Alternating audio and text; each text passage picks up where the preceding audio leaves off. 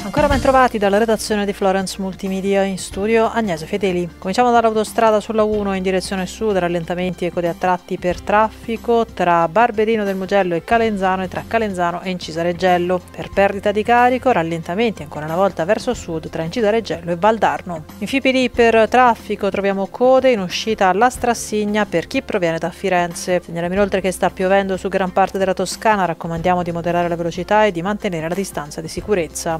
Voltiamo pagina per il traffico ferroviario per un guasto temporaneo agli impianti di circolazione tra Serravalle Pistoiese e Montecatini Terme. Due treni regionali hanno subito ritardi, compresi tra gli 11 e i 20 minuti. Muoversi in Toscana Infi è un servizio in collaborazione con Regione Toscana, Città Metropolitana di Firenze e Comune di Firenze. Per ora è tutto, buon viaggio!